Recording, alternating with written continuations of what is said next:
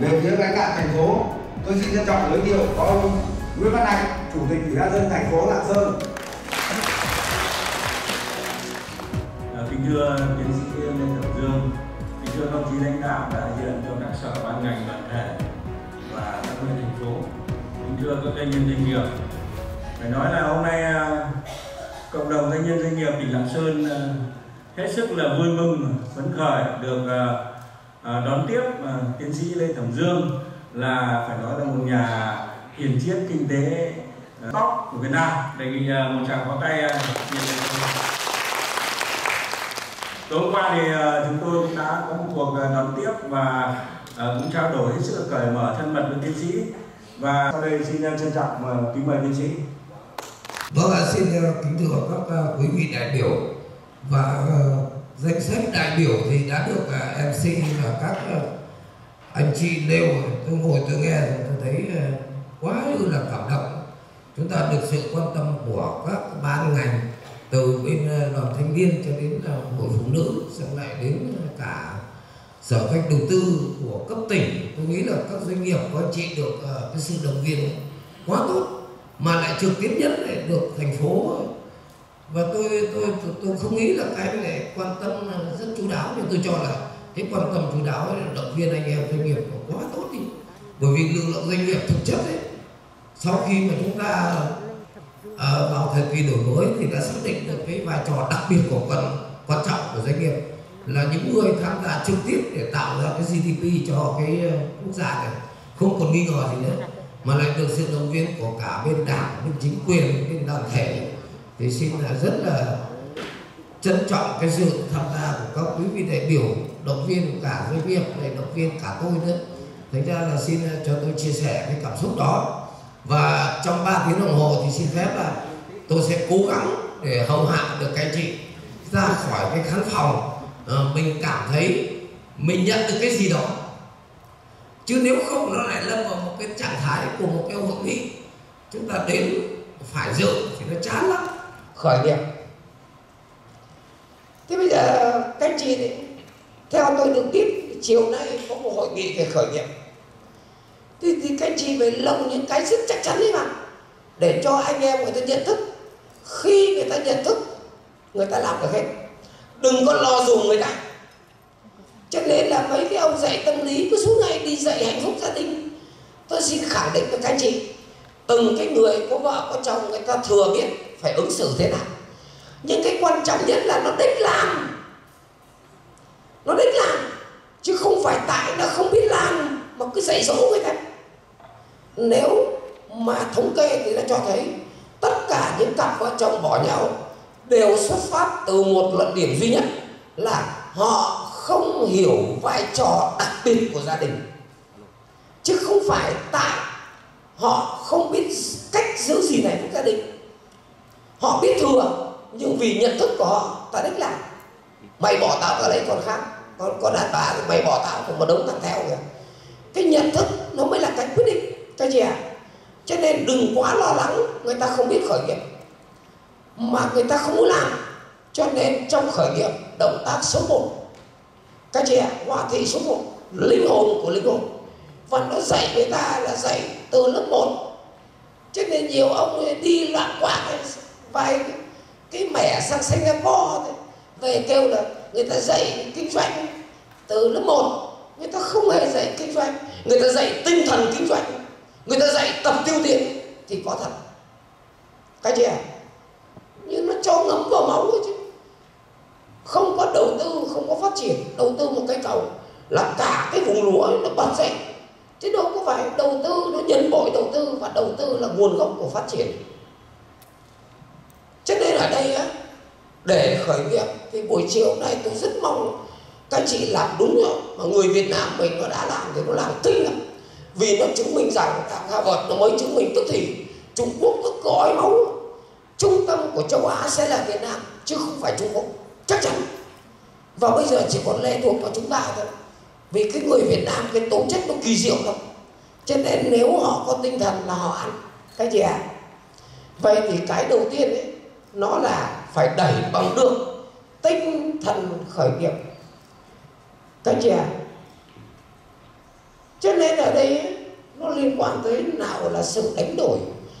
Và kết quả là có mấy ông thầy đại học đạt được như tôi đâu. Ngồi chỉ nói là đây tinh thần khởi nghiệp, tinh thần cống hiến không có.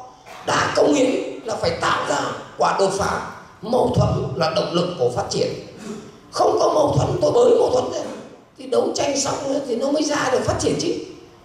Ngồi toán nói kiểu dĩ hòa vì ký cái gì à chúng ta cần là chúng ta phải, chúng ta nên nên gì vậy thì ở đây phải bằng bằng mọi giá là có tinh thần. Vậy móc cái tiền ra, ngồi chỉ nói hay. Không làm cái gì xong tưởng tượng không à. Vậy tinh thần khởi nghiệp nó được hiểu như sau. Để cho một con người nó phát triển nếu xét theo chu trình thì giai đoạn một, đi làm nhân viên. Các chị à thực ra là các anh chị đi lấy lương. Đi lấy lương là các anh chị làm theo ý chí kẻ khác. Các chị à mẹ một thằng tiến sĩ lừng lẫy ngồi đấy xong thực hiện cái hành vi giảng dạy theo phân công của em hiệu trưởng. Thực chất là anh làm theo ý chí kẻ khác các chị à xong cứ tưởng mình ngon. Ông có dám mà ông ông ra ông bán quán cà phê khi mà mở quán cà phê thuê có hai em thôi. Mà trời nó mưa tầm tã mà hai em mình phải trả lương, mặt bằng mình phải trả, mà khách nó vào không có. Anh chàng vượt qua được chính cái sức mạnh đấy. Tôi mới nể, chứ tôi không nể cái anh ngồi chức vụ mà ngồi lĩnh lương đâu anh ạ. Đấy là quyền cá nhân của tôi mưa hay gió công ty sập hay không sập, sở tôi hay không trả liên quan gì cả. Mày phải trả lương tao. Ngồi đi, không hiểu cái vị trí của mình mà cứ nói. Cho nên ở đây, làm theo ý chí của kẻ khác. Các chị ạ, có não mà làm theo não người khác. Cho nên người ta phải rất nhanh chóng, người ta vượt. Nó vượt ở đây, nó gọi là vượt ngưỡng. Vượt ngưỡng được hiểu là tinh thần khởi nghiệp mà nó nằm trong chủ trương của đảng cho phép rồi đảng khuyến khích đó kia để tạo ra của cải cho, cho đất nước này. Vậy thì các bạn ạ à, giai đoạn 2 nếu các em sinh viên nó chưa có thì nó vào đây để nó rút kinh nghiệm. Nó đẩy sang động tác là tự doanh. Tức là em sẽ tự làm. Các chị ạ đồng thời em sẽ lấy thu nhập về chả có lương lậu nào cả mày khôn thì mày sống, mày ngu thì mày chết, nhưng nó dám có cái gan khởi nghĩa. Ấy các chị ạ. Và thế là mở quán cà phê. Một mình chú mày với hai con nhân viên làm quần quật luôn. Các chị ạ. Nhiều bác sĩ nhảy về quê, nuôi lợn, vì có nghề y rồi giàu nứt đố và kết quả là các chị ạ, người ta làm bằng ý chí người ta. Các chị ạ, nếu thất bại Ừ, bố lại về, bố làm thôi. Rồi bố lại vượt ngưỡng bố mới nữa cho nên là các chị bị chết ngay ở cái ngưỡng trong đầu. Tôi thì làm sao được? Sợ chết lắm. Các chị ạ thế thì nói chuyện chó nữa anh không vượt được ngưỡng anh thích làm ở đâu. Và kết quả các chị xem số liệu thống kê của vĩ mô. Y tế và giáo dục hiện nay đang bỏ nhiều nhất. Ở góc độ tiêu cực, chúng ta không có người làm ở góc độ tích cực, nó đang thể hiện một sự chuyển biến xã hội rất tốt, chứ không có gì xấu cả. Để nó đánh động vào cái khu vực kinh doanh nếu ai không chuyển là nó chuyển hết. Các chị ạ, nó là tốt chứ tại sao cái nhìn tiêu cực cái là nhìn cái người chuyển đi là xấu rồi tôi thì tôi đánh giá rất cao. Các chị ạ, người ta có tinh thần thế cơ mà. Đằng nào trên đất này cũng cống hiến cho cho quốc gia này cơ mà. Cái tư duy nó không tối thế tự doanh thôi. Thì ông lại phải vượt ngưỡng một lần nữa. Vượt ngưỡng lần nữa, tức là có tinh thần khởi nghiệp lần nữa. Vượt qua chính mình, cái cách vượt ngưỡng nó hay lắm. Nhưng mà cái gan nó to ra, nhận thức nó lớn lên, cái tầm nghĩ nó cao lên. Cái gì trên trái đất này cũng mua được, trừ tầm nghĩ. Nhưng mà ngồi nghĩ cứ, nhìn đời không quá cái hàng rào nhà mình thì làm sao mà thảo luận được? Thì nó ra được. Cái gì à không phải tự doanh nữa. Bây giờ tao thành lập công ty, tao bắt chúng mày làm, tao đến làm quyền còn đây là bố mày cùng làm với chúng mày. Và thế là các bạn trở thành ông chủ. Cộng với siêu vừa làm chủ, vừa điều hành luôn. Lời ăn lỗ chịu quá đã. Luôn thì lúc đó cái khởi này nó đang xuất hiện. Ở các chị đây này. Nhiều anh chị thì nằm ở đây này mới ngồi trong cái hội trường này. Cho nên là với cái hội trường, với thành phần tham dự thế này, tôi nói thật, với ý nghĩa của quốc gia, với ý nghĩa cá nhân các chị chết tôi cũng làm. Vì các chị, bất kể ở ô 1 hay ô 2 các anh chị đều là những kẻ cực kỳ đáng trân trọng. Cái trân trọng nhất không phải lời lỗ mà các anh chị dám vượt qua chính mình. Các anh chị à còn tất cả những kẻ khác, bình luận các chị không có cửa. Bình luận tôi là không có cửa shipper mới có ý. Ông làm đi, ông cống hiến cho đất nước đi, ông hãy trao đổi với tôi. Muốn làm như người ta non tay lắm, không ngon thế đâu. Bây giờ vượt ngưỡng lần nữa, mẹ ba lần vượt ngưỡng thì mới ra cuộc đời này. Như vậy nó có ba cấp tinh thần khởi nghiệp.